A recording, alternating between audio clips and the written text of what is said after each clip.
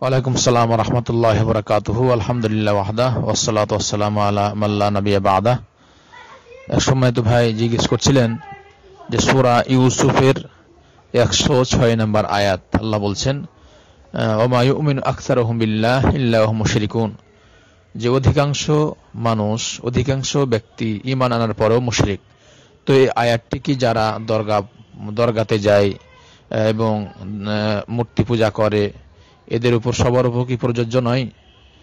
সম্মানিত ভাই, আল্লাহ সুবহান তাআলা যে আয়াতটা নিয়ে এসছেন, জি, এটা আসলেই আমাদের দেশে দেখা যায় যেগুলা মাজারে মানুষ সিন্নি দেয়, মাজারে মানুষ গিয়ে খাসি জবাই করে, পীরের উদ্দেশ্যে, মাজারের উদ্দেশ্যে, মৃত্যু ব্যক্তির উদ্দেশ্যে, এরপরে মানত মানে মৃত্যু ব্যক্তির উদ্দেশ্যে যেগুলা মানত শেরকিয়াত এরপরে নীরবতা পালন করে কবরের উদ্দেশ্যে, মাজারের উদ্দেশ্যে মৃত্যু ব্যক্তির উদ্দেশ্যে এরপরে সেখানে যে বাচ্চা না হলে দেখা যায় মা বোনেরা অনেকেই বাচ্চা চায়, বিপদ আপদ, মুসিবত থেকে তাদের কাছ থেকে রক্ষা চাই সেখানে সিজদা করে, রুকু করে, সালাত পড়ে যা কিছু এগুলা করে, এগুলা শিরকিয়াত কাজ। এগুলা শিরকিয়াত কাজ আয়াতটা প্রযোজ্য হবে, আয়াতটা প্রযোজ্য হবে। আসলেই অনেক মানুষ আমরা অবুজের মতো না বুঝেই সেরেকি আমল করি আমরা আসলে বুঝি না। আল্লাহ যেন আমাদের হেদাত দান করেন। কারণ সেরেকি আমল করলে তার ইমান নষ্ট হয়ে যায়। সেরেকি আমল করলে ইমান নষ্ট হয়ে যায়। আর আল্লাহ সুবহানা তাআলা যারা সেরেকি কাজ করে তাদের জন্য জান্নাতকে হারাম করে দিবেন।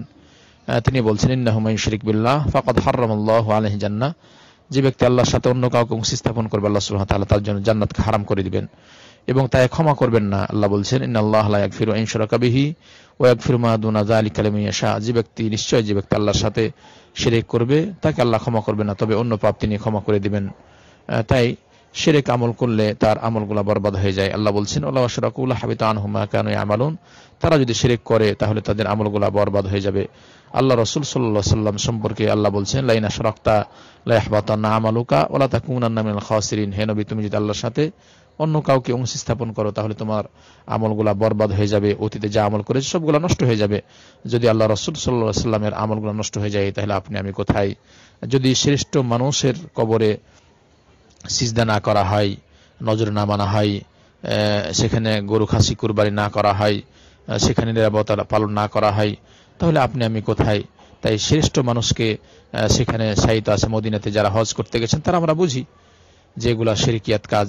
অথচ আমার দেশে এগুলা অনেকেই, বাংলাদেশ, পাকিস্তান, ভারত, এগুলাতে সেই কাজগুলা যে হলো, আল্লাহ যেন আমাদেরকে হৃদায়ত দান করেন, আল্লাহ যেন আমাদের বুঝ দান করেন। অনুরূপী আমরা সেই কাজ করি, কেউ তাবিজ ঝুলাই তাবিজ ঝুলাই, তাবিজ আমরা সেই কাজ করি। আল্লাহ রসুল সাল্লাহ সাল্লাম বলছে মান তা আল্লাহ কাতামিমাতান ফাঁকা রাখা যে ব্যক্তি তাবিজ ঝুলালো, সে যেন শেরেক করল। তাই তাবিজে অনেক ঝুলে, মনে করে তাবিজে তার অসুখ ভালো করে দেবে এটি বড় শেরেক হয়ে যায়। অনুরূপী তাবিজে যদি লেখা থাকে, ইয়া রসুল্লাহ ইয়া জিবরুল মিকাইল, তাহলেও বড় শেরিক হয়ে যাবে। আবার তাবিজ ঝুলায় পর্বে বলে যে এই তাবিজই তাবিজের মাধ্যমে বা ভালো, অসুখ ভালো হওয়ার কারণটাও শেরিক। অনুরূপ হাতে বালা পরে আপনার লোহার বালা বাতের জন্য, এটাও সেরেকি কাজ। অনেকে বাবার কিরা বাবার কসম, মায়ের কসম, মাটির কসম, মসজিদের কসম, পীর বাবার কসম, এগুলা কসম খায়, এগুলাও সেরেকি কাজ। আল্লাহ রসুল সাল্লাহ বলছেন, মান হালাফ বেগরিল্লাহ ফাকাদ কাফারা অশরাক যে ব্যক্তি শিরিক কাজ করল যে ব্যক্তি আল্লাহর নাম, আল্লাহকে বাদ দিয়ে অন্য নামে কসম খেলো, শপথ করল, সেখানে শিরিক করল তো কুফরি করল। মাহমদ বিন হাম্বাল হাদিস নিয়ে এসছেন। তাই আমরা যেটা বলব, জি, দেশে যারা কবর পূজারি করে, মাজারে, দরগায় গিয়ে যা কিছু করছে, এগুলো সেরেই কাজ। তাদের উপর প্রযোজ্য হবে আয়াতটি। যদি তারা সেখান থেকে দূরে না সরে, অনুরূপী যারা মূর্তি পূজা করে, হিন্দুরা অমুসলিম গাভী পূজা করে, কেউ লিঙ্গের পূজা করে, কেউ সূর্যের পূজা করে, কেউ চন্দ্রের পূজা করে, বিভিন্ন পূজা করে, এগুলা থেকে নিজেকে রক্ষা করতে হবে। আল্লাহ যেন আমাদেরকে কোরআন, হাদিস বুঝা তৌফিক দান করেন। দিনারা, যিনারা দেশ চালাচ্ছেন, ইনাদেরকে আল্লাহ যেন সঠিক পথ পরিচালিত করেন, কারণ ওনারা এগুলা উঠাতে পারবেন। দেশে যেগুলা সেই কাজ হচ্ছে, অন্যায় কাজ হচ্ছে ওনাদের মাধ্যমে এগুলা ওঠার মাধ্যম হবে।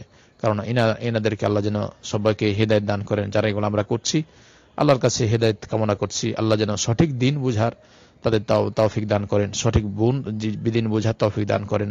আল্লাহ আলাম।